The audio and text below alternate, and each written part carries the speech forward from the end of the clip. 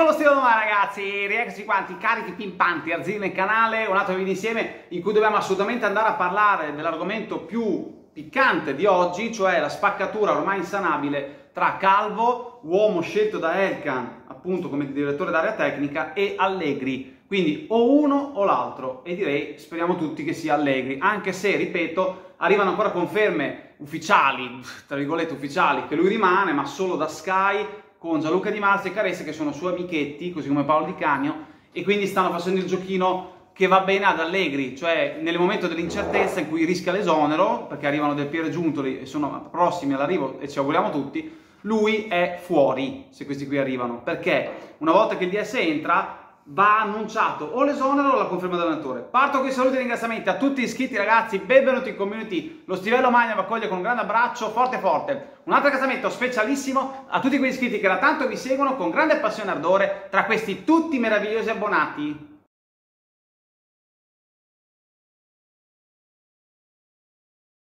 Allora, per citarvi anche appunto un estratto riportato da um, Romeo Agresti di Gol.com, ha detto le dichiarazioni di Allegri non fanno parte del DNA Juve. Sono dichiarazioni molto pesanti e per me anche sbagliate. Ha preso posizione in questa cosa. Ora è il momento delle decisioni dei faccia a faccia. Quindi, ripeto, è un giornalista molto autorevole che per lungo tempo ha preferito non dire la sua riguardo alla vicenda, ma in questa situazione altalenante e diciamo mh, piena di dubbi, ok, di perplessità, ha voluto dare la sua opinione, ha voluto mettere il suo marchio. E quindi ovviamente non è che si è sbilanciato dicendo è fuori, esonerato, però ha detto quello che era la realtà, cioè c'è la spaccatura tra Calvo e Allegri insanabile, hanno litigato dopo Udine e, e le dichiarazioni non fanno parte del DNA, quindi la, la proprietà si è distaccata, si è dissociata dallo sputo virtuale che Allegri ha dato alla storia della Juventus, che è veramente è stato emblematico. Infatti ricordiamoci anche questo, che Calvo non ha presenziato alla conferenza eh, pre-Udinese Juventus, lui di solito andava ai microfoni, si faceva intervistare, così come nel dopo partita, proprio per dimostrare io voglio stare lontano da questo personaggio, sperando che la dirigenza capisca, ok, visto che è stato nominato per fare da tramite tra Elkan e Allegri, e prenda le dovute eh, decisioni. Quindi questo è quanto. Eh, volevo leggervi anche un articolo appunto di Tutto Sport, per essere più chiari, visto che ieri proteggeva Allegri dicendo che era confermato, ma oggi parla anch'esso di questa spaccatura, ok? Allegri Calvo retroscena dallo scontro a Udine, si parla di scontro e quando i giornalisti comunque autorevoli, ripeto, di spicco e che spesso ci prendono perché hanno azzeccato tutta la trafila de- de- della fase della giustizia ordinaria, dei tribunali e di quello che sarebbe successo per la, la filone plusvalenza e quello stipendi. E la fine della stagione con la qualificazione in conference lascia sul tavolo i dubbi sulla posizione del tecnico. Le sue frasi secche e il mercato sono lo specchio della distanza che persiste. Perché, ripeto, Allegri è stato messo nelle condizioni perfette per poter vincere e lui stesso era convinto di vincere quando aveva quella rosa stellare. Poi ci siamo accorti tutti che lui non era capace di allestirla.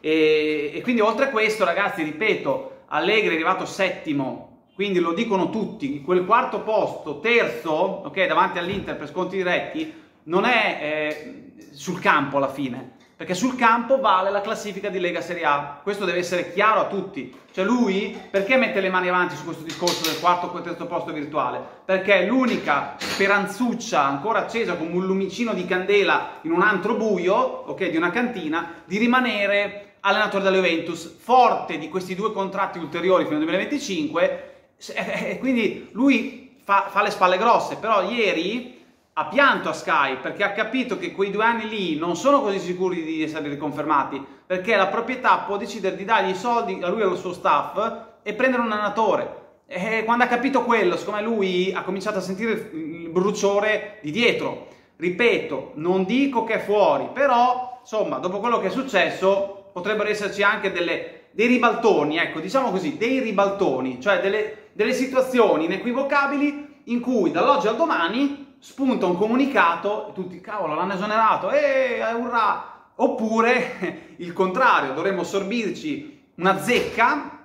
che continua a, a, prendere le nostre energie per altri due anni e distruggere e spaccare la tifoseria. E ripeto ragazzi, lo dico prima di continuare con l'articolo, mi raccomando, non abbonatevi, non cadete nella esca, nella rete per pesci che ha fatto la proprietà in questo momento o che hanno fatto i giornalisti amici di Allegri, perché in questo momento può essere tutto, può essere anche che soltanto Sky, Corriere dello Sport e Gazzetta abbiano cercato di, di aiutare Allegri, no? Per vedere cosa succede, sperando che arrivino gli abbonamenti e che dopo la proprietà dica, ah cavolo, quanti abbonati che ci sono, dai, lasciamo Allegri, va, così non, non ci spariamo i soldi dell'allenatore.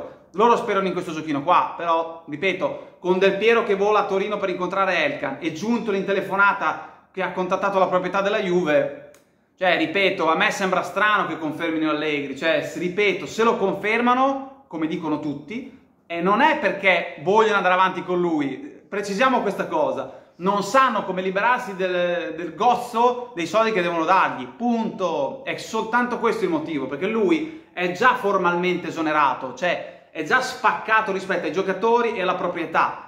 È rimasto solo come un, so, una specie di, di, stecco dentro un campo di grano, eh, così, diciamo così, ecco. Quindi per fare un esempio. Salvador Dalì, genio spagnolo, soprattutto pittore ma anche molto altro, una volta fece partire da dietro quei suoi baffi stilosissimi e strani questa frecciata. Più di tutto mi ricordo il futuro. Ecco, in questa Juve Dalì non si troverebbe a proprio agio, perché il futuro bianconero non è né scritto né disegnato. Figuriamoci quindi ricordarlo o anche solo immaginarlo, proprio così, l'universo juventino è ma- magmatico più che mai. E ora che la stagione si è conclusa dopo mille peripezie, almeno il 70% ha venuto fuori dal campo, mentre la centrifuga inizia a rallentare la propria corsa, saltano fuori pezzi di verità che nel vortice si erano mischiati tra loro ed erano quindi difficili e sono impossibili distinguere nella forma, a noi Juventini che notiamo tutto e stiamo attenti ai dettagli, avevamo già capito tutto già da ottobre, con Vlaovic in spaccatura totale con Allegri, Di Maria arrabbiato, Rabiot che non poteva vedere Allegri, poi dopo è rimasto, insomma le verità c'erano ma non si volevano vedere, diciamo così. La situazione è complicata e articolata, al di là delle dichiarazioni di facciata che vengono elargite. Allegri il post Udinese Juve, a volte a sangue freddo, altre volte invece quando è ribollente, come domenica sera, pochissimi minuti dopo il triplice fischio di Udine, quando Massimiliano Allegri nel ventre della Dacia Arena ha spiegato davanti a tutti i microfoni che gli venivano messi davanti, davanti al naso e ribadito poi in conferenza stampa che per il mercato bisognava rivolgersi a Calvo, il, il responsabile dell'area tecnica, e che lui si metteva a disposizione per poi gestire e allenare al meglio ciò che avrebbe avuto a disposizione a partire dal 10 luglio primo giorno di test e battesimo della prossima stagione 2023-2024. Tra forma e contenuto del pensiero emergeva in maniera netta e precisa la distanza tra i due, ovvero Allegri e Calvo, che sarebbe poi il segreto di Pulcinella, anche se a Torino sarebbe il caso di, di cambiare maschera, indossare quella di Gianduia. Ma le maschere è meglio lasciarle perdere, si usano quando è carnevale, si respira nell'aria la voglia di scherzare. Un esercizio nobile che però non ha diritto di cittadinanza in questo momento storico della Juventus, dopo che si è appena messi alle spalle le grandi paure per una nuova spinta verso la Serie B. Quindi ragazzi, tutto sport gira attorno alla questione. Io vi ho letto l'articolo per rispetto perché dovevo darvi comunque una fonte certa, no? autorevole, ma non è andato in merito al discorso, tant'è che ha in qualche modo anche protetto la situazione e l'ha edulcorata, l'ha fatta sembrare più dolce e suave di quella che è, dicendo che il 70% dei problemi della Juve di quest'anno vengono da fuori campo. Ma dove? Che eravamo fuori dalla lotta scudetto a gennaio, eravamo fuori al girone di Champions a settembre, e eravamo dentro solo alla Coppa Italia. Cioè, ripeto ragazzi, è difficile comunque dare delle definizioni su questi articoli, però almeno per farci idea di quello che si dice. E la lotta tra Calvo e Allegri è più dura di quella che si fa credere, non è uno scambio di battute focose e frecciate a distanza.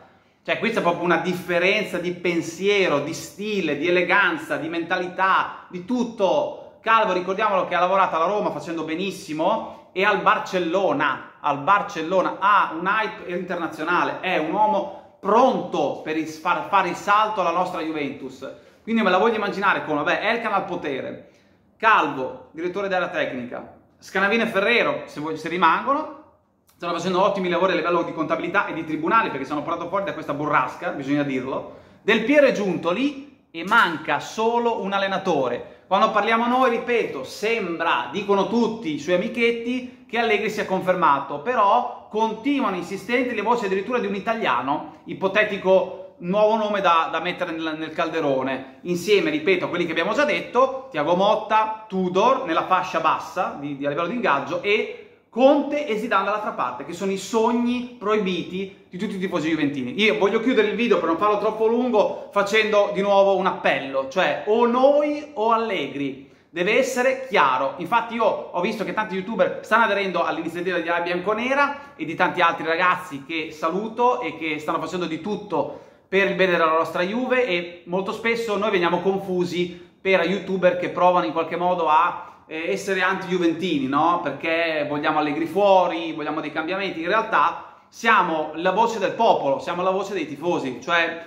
eh, il 90% dell'Italia. Quindi, ripeto ragazzi, domani ci sarà la campagna abbonamenti. Occhio alla penna, non facciamoci fregare da questi balordi, a meno che non abbiano già deciso di cacciare Allegri, ok? E lì allora abbonatevi assolutamente, se viene fatto il nome di un allenatore tra oggi e domani, perfetto. Stadio vuoto, altra iniziativa che dobbiamo fare, ok? E poi gli abbonamenti pay TV, da evitare perché aiutano sia contro FGC e Procura Federale, che ogni volta che dicevamo si prendevano paura e cominciavano a fare gli accordi sotto banco con Elkan, e questo è palese, e poi ovviamente non dare i soldi facili con gli abbonamenti, cioè piuttosto che andare a guardare la partita a casa spendere 30-50 euro, andate al bar, per dire, c'è uno solo che paga, 100 persone che guardano, è un grosso risparmio e soprattutto non diamo soldi a persone che non li utilizzano per migliorare le strutture, per migliorare il sistema calcio Italia, anzi c'è un gap enorme tra Liga, Bundesliga e Premier League, stiamo diventando un campionato basso, ok? Quest'anno i risultati sportivi si danno ragione, ma attenzione perché ci vogliono anche le strutture, la mentalità, il giusto giornalismo, il non servilismo, altrimenti rimani giù dove sei.